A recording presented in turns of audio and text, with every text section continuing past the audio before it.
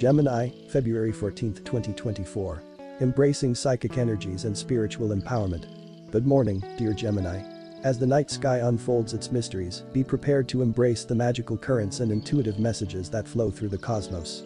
The alignment of the Aries moon and Mercury in the early hours charges your psychic abilities, urging you to pay close attention to any hunches or insights that arise within you. Under the sweet exchange between Venus and Neptune, you'll find yourself craving both intimacy and privacy. Use this enchanting energy to deepen connections with your most cherished companions, while also guarding against outside influences that may disrupt your sacred space. In the realm of friendships, you may sense a shift as Luna, Chiron, and the nodes of fate align. Trust your instincts and be willing to pull back from dynamics that no longer serve your highest good, allowing space for growth and healing.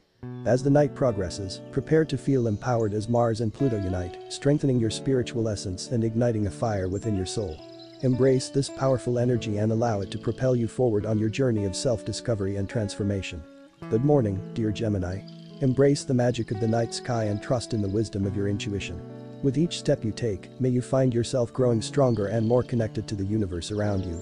You're on a remarkable journey, and the cosmos are cheering you on every step of the way. Thank you for joining me today.